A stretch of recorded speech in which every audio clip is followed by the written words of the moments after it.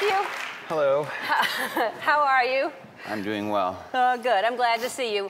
Um, so first off, before we talk about anything else, I know that you uh, have some things that you would like to clear up. There are things that have been in the press in the last year and a half that I really did not know about, honestly, until I had a briefing this morning with the producers. Mm-hmm. And so I guess a lot of people know about it, but I didn't know about it. But you'd like to clear it up. Yeah, I mean, there's been um, some negative things written about me, said about me in the last year. There's uh, a woman in Cleveland a, who. A woman in Cleveland who uh, claims that I that I hit her. Um, hit her where? I think she specifically says that I hit her in private areas of her body, actually. Okay. And where was this? Uh, this was in Cleveland. I was making this film there. Mm-hmm.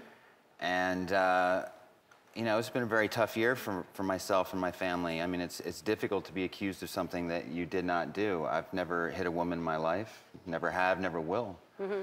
Um, that's not a part of who I am as a man, and I, and I hold that very dear to how I define my character. Mm-hmm. Um, so that's been been very difficult. Um, so, so, what what did happen? Why was I mean, who was? Did you know the woman? Uh, no, I was actually sucker punched in the face by a man, and I retaliated against the man that sucker punched me in the face, mm-hmm. and uh, so a, a, fight broke out, and she was a woman that was in proximity to that, and she decided that she was going to write uh, a different version of events that happened that night and try to extort money from me to mm-hmm. to uh, that was what went down, and it went into uh, first a criminal case because she alleged that I that I hit her. Mm-hmm. Um, the prosecutors in Cleveland took about six seconds to see that it was a hoax and mm-hmm. threw that out.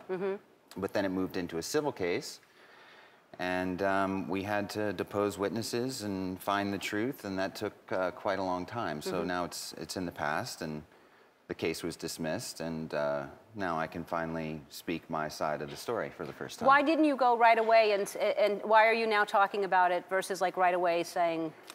Well, I mean, when you're involved in a criminal and a civil case, it's mm-hmm. you're advised not to speak about these mm-hmm. things, you know, because they're trying to find the truth and depose right. witnesses, okay. and and I also find that it's just a little bit uh, undignified to come out and respond to people's allegations that are so outlandish mm-hmm. with just a one person is saying you did this, and you mm-hmm. come back and say, no, I didn't. Right. Uh, I was going to let the courts, uh, you know, resolve it on that end. Mm-hmm. And then I knew that there would be a time down the road where I got an opportunity to, to tell the truth. Mm-hmm.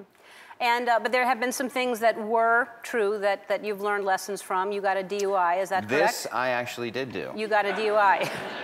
and where was... Uh, yes. Where was that? I, I got a DUI in uh, Bend, Oregon, where I live now, very mm-hmm. happily. Um, Not the DUI. Happily no, live. No, yeah, yes, I, I, happily live in You didn't in happily Bend. get a DUI. I was not happy about the DUI no. at all, and I, I was terribly embarrassed by that. Um, and take full responsibility for it. I mean, I, I really own that and uh, have done every single thing that the state of Oregon requires for a first-time DUI offender. I've learned a ton. I did four weeks of um, alcohol informational uh, training mm-hmm. and just learned an enormous amount. One of the statistics that I learned was that um, 50% of people who get one DUI will get another. And I found that pretty astounding after what I've been through, that I will absolutely not be in that statistic. There's just no way. You I will mean, never I... drink and drive. Thank you. Thank you. No, it will, it will yeah. be my policy to never get behind the wheel of a yeah. car after even one drink. Yeah. And you know, I, I really, uh, I mean, obviously, I don't want to sound like I'm, you know, sort of some. I just learned a lot about for myself. Mm-hmm. Um, I grew up in Wyoming, and not to make excuses for myself in any way. In fact, I think I'm even being harder on myself for that. I grew up in a place where you had to drive 60 miles to go to town and, and hang out with your friends. So from a very early age, that's just what we did. And I lost friends in high school who were drinking and driving and, and had accidents on the highway. So I should have really, I should have known better, and yet I did that off and on throughout yeah. my life. Fortunately, didn't hurt anybody, and then learned this lesson. So um, it'll never happen again. Well, it's good that you learned the lesson. That's the most important thing. Thank you. And silly. So many people do it. They think just one drink, it's okay. Yeah.